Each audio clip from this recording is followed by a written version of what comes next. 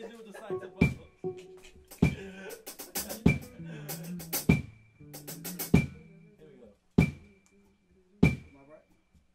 y'all have being safe, healthy. Wash your hands, wash your face. Take baths, okay? Uh, take showers, all right?